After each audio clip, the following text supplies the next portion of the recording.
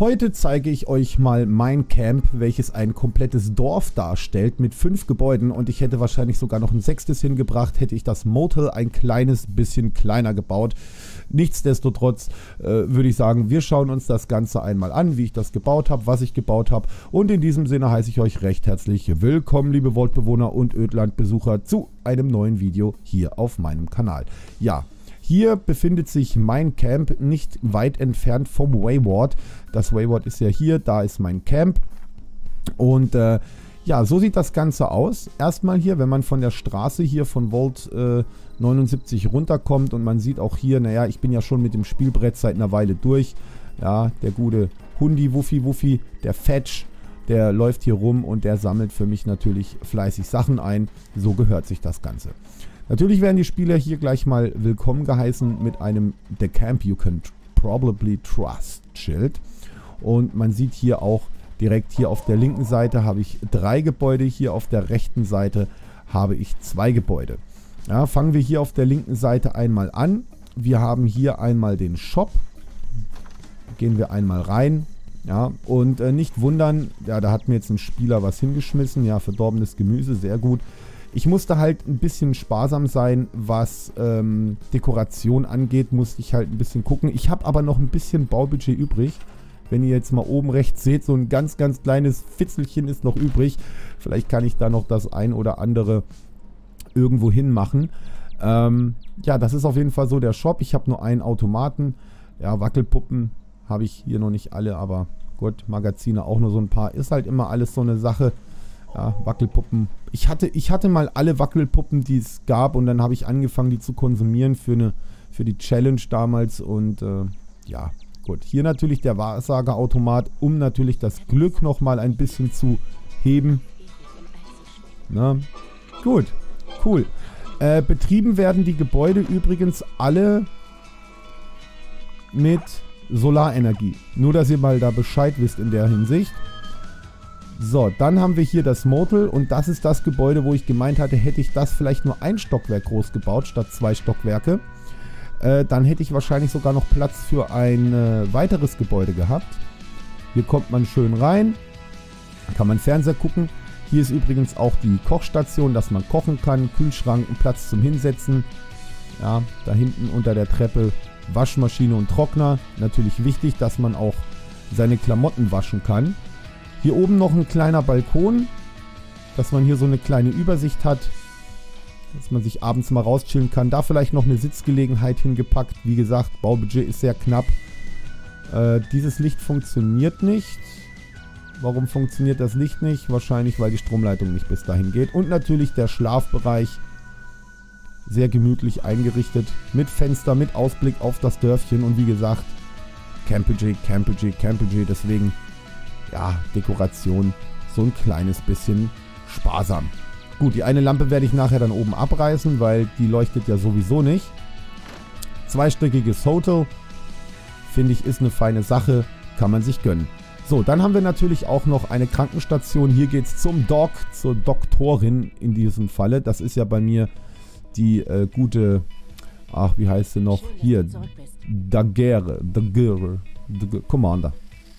Ja, hier in ihrem Office, in ihrem Untersuchungszimmer.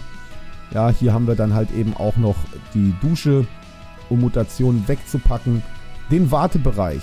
Ja, hier können dann die Patienten warten und dann natürlich noch Krankenzimmer A1 und A2. Auch sehr spartanisch eingerichtet, aber es reicht, um Kranke zu versorgen. Das auf jeden Fall, meine lieben Freunde. Ja, es sind auch simultan aufgebaut, also das eine Zimmer wie das andere nichts Besonderes. Fehlen jetzt halt noch ein paar Katzenbilder an der Wand, ja, um die Patienten etwas zu beruhigen. Was ich an diesem Blockhaus-Set ähm, nicht so geil finde, ist, dass Ecken, die sich nach außen wölben, nicht richtig miteinander abschließen. Das finde ich irgendwie ein bisschen komisch. Also ich habe da sehr viel rumexperimentiert, viel gemacht. Ich weiß auch nicht, ob ich die Wände vielleicht falsch rumgedreht habe, aber da, das ist schon das ist schon komisch. Das ist irgendwie komisch. Aber gut, das ist halt eben so. Ja. Ja, und das ist so ein Ding, das nervt mich an den NPCs. Äh, die kriegen es zwar hin, die Tür aufzumachen und rauszugehen, aber die Tür zu schließen, das ist irgendwie, das hat Bethesda noch nicht hinbekommen, den beizubringen. Okay, dann gehen wir weiter zu Work. Ja, das ist natürlich die Werkstatt. Hier kann man bauen, hier kann man craften.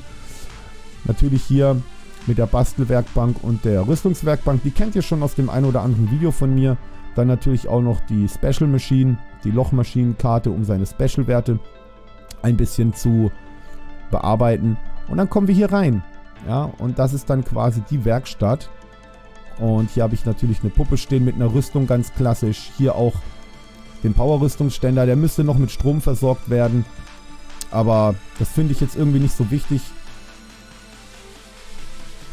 Ich finde ich find das so ganz gemütlich. Ich mache mal die Musik ein bisschen leiser. Das ist ja sehr laut hier für mich. So, Power-Rüstungsständer, äh, also die Power-Rüstungsstation muss inmitten des Raumes stehen, sonst backt das hier rum und man kann nicht richtig an der Power-Rüstung arbeiten. Finde ich aber eigentlich nicht schlimm, finde ich eigentlich ganz cool so. Und hier natürlich auch noch die Laborstation. Die hätte jetzt eher in, in, in, ins Krankenhaus reingepasst, aber das wäre jetzt pla platztechnisch nicht so geil gewesen. Deswegen, ja, habe ich das mal so gelassen und finde das eigentlich auch gar nicht so schlimm. Ne, natürlich auch, man beachte in den Gebäuden auch immer passende Bilder an der Wand. Hier zum Beispiel so mit Waffen und sowas, ja, Nuka-Cola, Nuken und so weiter. So, drüben im Krankenhaus natürlich immer so Erste-Hilfe-Dinger. Das zeige ich euch jetzt gleich nochmal. Also das sind so kleine Details hier zum Beispiel, ne? Have you take your medication today? Oder hier clean, clean, li clean lines as good lines. Oder wie das ausgesprochen wird.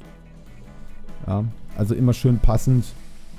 Stay fit, stay focused. Ja, körperliche Fitness da rät natürlich jeder Arzt dazu. Und zu guter Letzt, ja, das, was ich jetzt erst gebaut habe, ist natürlich der Barbecue Diner. Hier so ein bisschen mit einer kleinen Terrasse, mit dem Barbecue Grill vom Brahim oder Brahim Barbecue Grill. Und innen drin habe ich noch keine Beleuchtung gemacht, fällt mir gerade ein. Da muss ich noch eine Lampe an die Decke schrauben, das mache ich dann noch. Ansonsten hier natürlich kann man seine Burger genießen, ein bisschen Werbeplakate, bisschen geschmückt, so ein bisschen Kuddelmuddel, so wie man das eigentlich gewöhnt ist.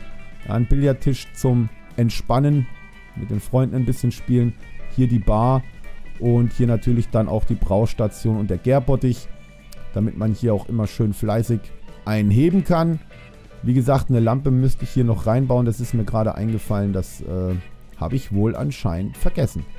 Ja, und das ist so quasi mein Haus und tatsächlich die äh, Red-Dusche, die braucht halt tatsächlich so viele Sonnenkollektoren. Die sind halt wirklich tatsächlich nur dafür da, um dieses eine Ding da, die, die, die Dusche da drinnen zu ähm, bewirtschaften. Und mir wurde auch schon gesagt, Mensch, Hubi, mach doch einen Schalter hin, dass du die Dusche ausmachen kannst. Ich finde das aber irgendwie cool, wenn hier so ein bisschen Bewegung drin ist, wenn es leuchtet, wenn hier irgendwas ist, was funktioniert, wisst ihr so, man kommt hier so rein und da ist gleich schon hier so dieser Nebel. Ich finde das eigentlich ganz cool, deswegen habe ich auf einen Schalter komplett verzichtet, weil das bringt irgendwie so ein bisschen Leben in die Bude rein. Ja, ja der Barbecue Diner, Werkstatt, Spital, Hotel und ein Shop und Hundehütte natürlich.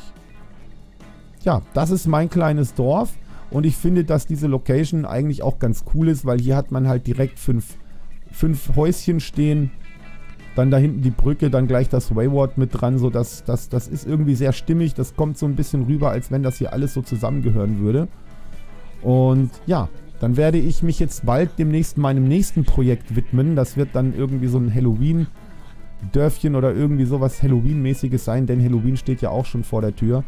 Und ähm, dann danke ich euch jetzt recht herzlich für eure Aufmerksamkeit. Ich wünsche euch viel Spaß beim Zocken, guten Loot, macht nicht zu viel Blödsinn. Wir sehen uns im nächsten Video. Servusle und ciao.